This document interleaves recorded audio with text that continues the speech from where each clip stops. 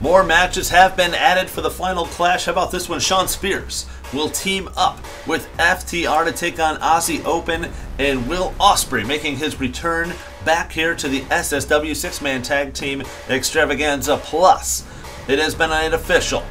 Gringo Loco will challenge for the SSW Top Rope Championship as he takes on the champion, Gran Metalik.